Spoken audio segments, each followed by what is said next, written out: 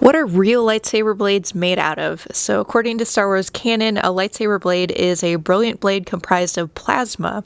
The plasma blade is generally about three feet long, and it extends out of the emitter section when the lightsaber is activated, and then it recedes when the lightsaber is deactivated.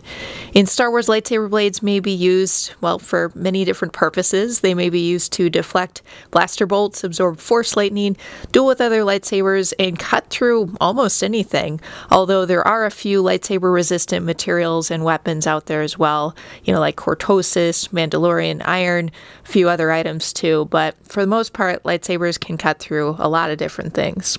So they are quite versatile, they are quite handy. I guess that's why the Jedi and Sith really like to use them.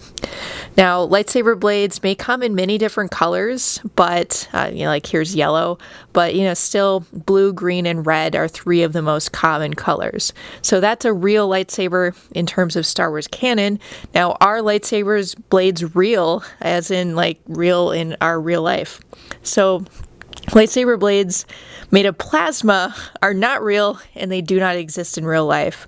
So, if we did have those, they'd be super dangerous. I don't think I'd want to be near one, or yeah, not without proper safety equipment. I think I still wouldn't want to be near one.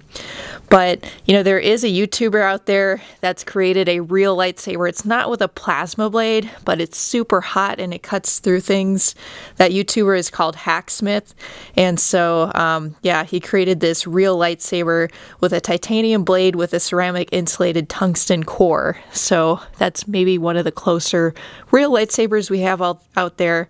But it's, you know, incredibly dangerous and it takes a lot of batteries. It's more of a proto saber um, type of thing with an external battery pack. So feel free to check out that real lightsaber, real life lightsaber, uh, if you'd like to. That's probably enough air quotes for this video, right?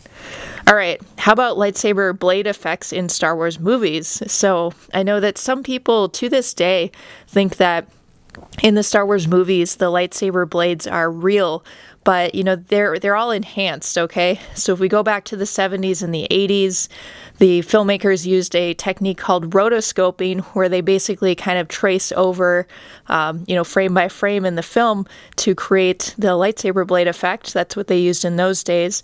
Nowadays they use you know kind of cgi to uh, make the lightsaber blades but that's basically how we get lightsaber blades in the movies um, now, how about real life? So, the real life lightsaber blades that we do have are, for the most part, plastic.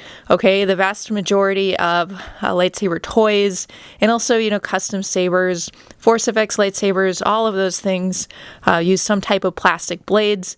Now, the plastic blade can vary a bit. Here's one right here. Obviously, I'm not burning my hands or anything. This is a plastic blade. It's quite strong. A lot of the custom sabers will use a polycarbonate blade, and sometimes for kind of flat, more decorative blades, um, it'll be made of acrylic, which is a bit more brittle. But those are really two of the kind of most common types of real lightsaber blades. Um, you know, they're both plastic. Uh, yeah, our real life lightsaber blades are plastic. We don't have plasma ones. So um, that's about it for lightsaber blades. What do you think about lightsaber blades? Do you have, um, you know, any custom lightsabers, any Force FX lightsabers? Feel free to comment below.